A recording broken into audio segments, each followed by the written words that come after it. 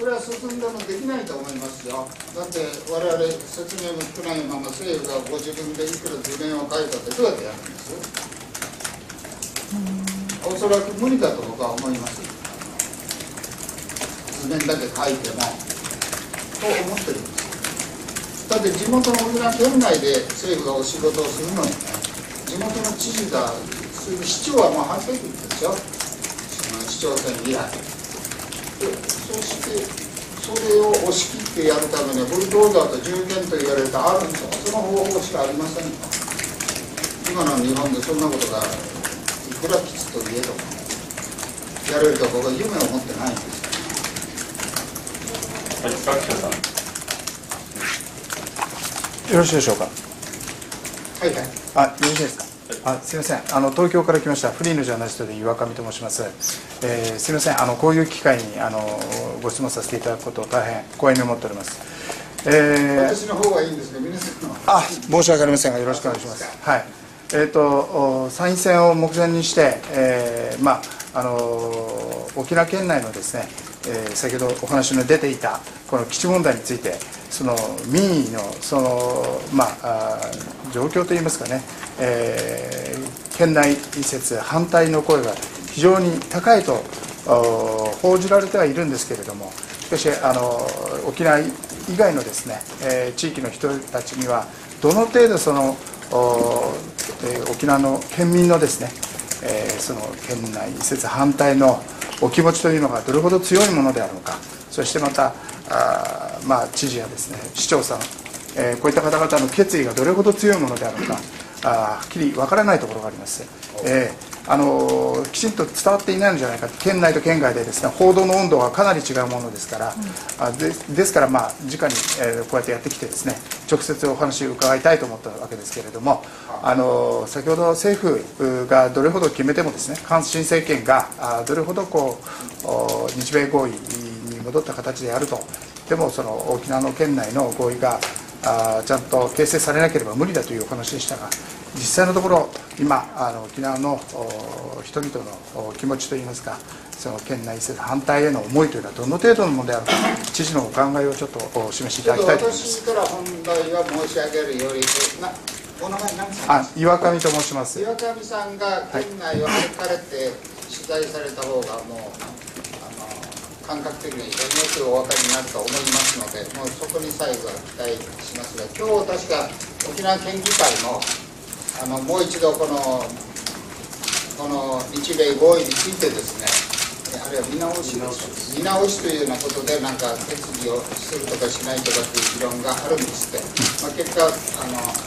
どうなるかあれですがまあことほどさように全く冷めておりませんで4月25日の県民大会。あれはあの首長さん全部出ましたからね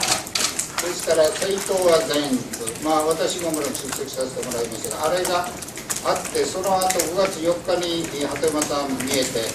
お話をそれは5月23日。23 23日。に見えて、えー話をされたんですが5月28日というご自分が切ったあれは日付でしょうか。あれでトントントンとある意味ストンとですよ、えーまた元へ戻したいと。これは全く逆なんですよね。ですからあれっていう感じだったと思います。でそれの説明ないままご自分はお辞めになり、えー総裁選挙をおやりになってそして、えー総理が決まりですよ、そして、まあ、たまたま6月23日、沖縄の慰霊の日っていうのがあって、その時は歴代総理大臣、よくおいでいただいてるんですが、菅さんもお見えになって、その時にちょっとあのお話しする機会もあったんですが、それからあとは参議院選挙に突入してしまって、つまり、はい。落ち着いてですね、この話をやる時間がまだきちっと取れてないっていうえー状況もあったと思うんですが、ですからちゃんとこれを説明しないと、県民が県外だという民主党政権の頃にお決めになった公約、こ公約よりもっと重いと思ってる総理からですね、出た話が、そのままそうと言ってですね、ずっとまだ盛り上がってるさなかに、ストンとです。ね、いやいや、これ無理だという話になってる。そういう、そう言いながら、その、一部機能をやっぱりなるべく本土にも移転させたいとか徳之島っていうのもまあ向こうの島の人は迷惑だとおっしゃってるけどあれってどうなってるのかですね。つまりよくわからんわけです。中身のこの詰まり具合が。それでいても東京に確かに行くともうあれ終わったっていう感じになってるんですよ終わり。はい。ですからやっぱりまたよく沖縄でいつも出てくるイライラの原因が1対46年って47都道府県なんだけど沖縄の感覚と46都道府県の北海道から鹿児島に行ってるこの差がですね最後どうしても出る。んですよね。また国政もそういう感じに陥ってしまったのかなという極めて残念ではあるんですけどねどうもその普天間の処理についてはあの確かどこどこの世論調査だったかわからないんですが6割を超える支持があったというのはある意味極めて残念でですね。しかもその菅さんも感謝するというような表現使ったり、まあ、アメリカの上下両院で沖縄の基地を持ってもらって感謝する、まあ、これはよその国のその議会ですから私はコメントしませんがただ日本の総理大臣が感謝すると言われても過重な基地負担だというのを我々言って過重を早くもっと軽くしてくれっていうのを言ってるんでむしろそこに本気で取り組む内閣や総理がおられなかったと僕は思ってるんです。ですからむしろ取り組んで一生懸命軽くする方向にやってくれれば私どもの方から感謝しますよと申し上げてるんですよね。ですからこのなんかこう違いが大きすぎてまた1対46のこの時代へ戻って要するに歴史問題へ行ってしまうんですよこうなってくると一体そのこの中にちょんちょんって出てくるサンフランシスコ条約とかまだ最前の話に、まあ、こういうあれはもう抜きにして本当は防衛もあるでしょうししかし日米間の国と国との関係をどう持っていくのか持っていかないのかも含めてただしこの沖縄に米軍の専用施設がやっぱり多すぎるっていうのは沖縄本島の土地の面積実面積で18.4%あるのやっぱり東京でいうと神奈川とカンパチのあのあのあのあの中身全部が基地ということですからね。まるであのあれが違うんですよあの重みが。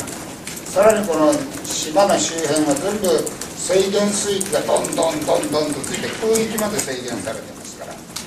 まあ、ことほど作用なのを私も 知事会であの鳩山さん見えた時私も簡単に説明をしたんですがそういう実態をもうちょっと分かっていただければと思うんですが我々もその説明が少し足りないのかですね痛感をしていますよ。今度のこのもう東京行ったら終わってしまってるもんですからね感じが。すみませんはいそういうこあ一つちょっと関連して質問よろしいですか？すみません、時間ちょっとあわかりました一問。さんね。